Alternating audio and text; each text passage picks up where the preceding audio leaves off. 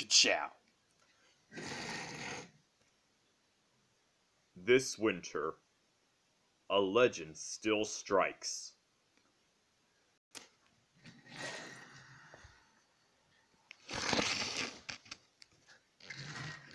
Okay, now to the left. Let's see. The Cars Show Season 5.